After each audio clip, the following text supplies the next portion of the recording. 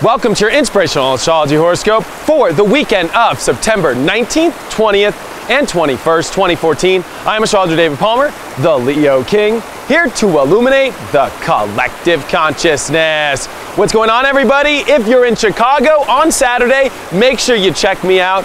I would love to see you live and in person. You can get tickets now at leokingevents.com. And this weekend, pretty chill weekend. I'm going to be honest with you. Because if you look at the next couple weeks, and more importantly, what's coming up is eclipse season. And so this is the preparations for us of stepping into some big eclipses that are going to happen. And that's usually when things either really hit the fan or more importantly, they open up and destiny changes your life forever. Always through the eclipses. It always happens. But this is a time for us to get ready. The planet Pluto is about to come direct on Monday the 22nd which is huge because it's the planet of exposing, change. And in my opinion, Pluto is one of the best transits to happen when it moves either direct or goes retrograde. The reason why I say this is this is a time of big changes coming in our life. This is a time of really changing the structure of our lives. And if we look at the weekend's preparation to this, we've got the moon in Leo gonna hump over Jupiter on Friday. A lot of positive energy, a lot of good emotion, a lot of excitement brewing, the moon's gonna tap into this Jupiter and Uranus trine, which in my opinion is really gonna light everybody up. All the new opportunities, all the new electricity in our lives, there's these new things happening. There's new perceptions that we're having. There's new doors opening. There's new beliefs that we're stepping into. That moon will tap into the square to Saturn and Scorpio, which there's a reminder of the restrictions to life still. There's a reminder of making sure that you're really looking at the decisions you make very carefully, that you do not just radically jump into things without the proper sense in knowing if it's based off your truth or really making the decisions that affect your life to really advance forward correctly. This is a time in our life, especially because Pluto is in Capricorn, of really learning to advance to your highest goal.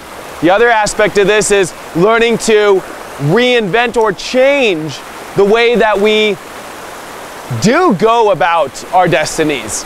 That there has to be truth, that it has to be aligned with, with this new bold way of becoming who you are. And we're in Virgo, and this is going to be the last weekend of Virgo. This is about becoming into your reality correctly, feeling every nook and cranny of your life, getting it together, and healing yourself. Venus as well coming into a really nice position as it's still in Virgo and it's going to sextile over to Saturn and Scorpio.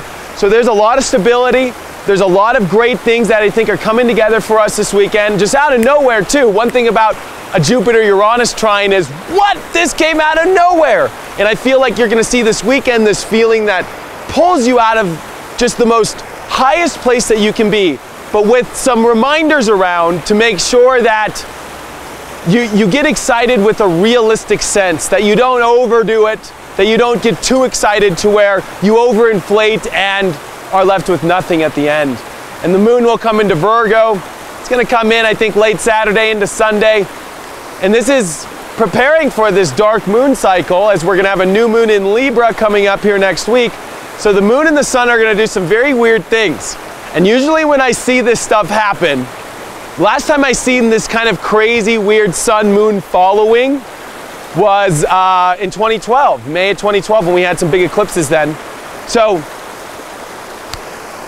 this is the universe really aligning things very uniquely this weekend to empower your happiness, to find your heart, and to really make the last adjustments you need because these next couple weeks begin a big eclipse season of a powerful October that's going to change people's lives, especially with the Mercury retrograde coming. So you have to see as we're, we're rounding up the ending of September here, there's a beautiful vision for us all that we must encapsulate with, that we must take with us into the storm or into the battle or into the beauty of what's coming.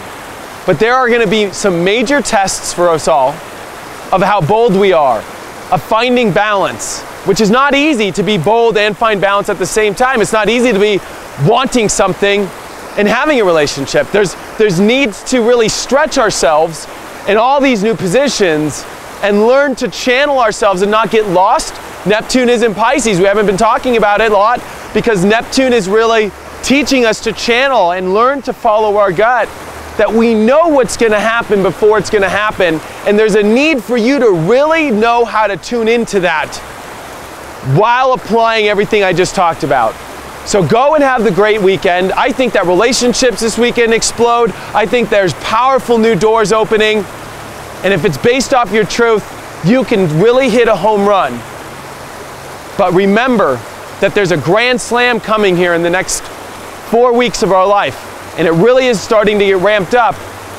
So realize that these are just the doors opening to the perceptions of where things are going that are really going to excite you. So I hope you have a wonderful weekend. Thank you so much for following me.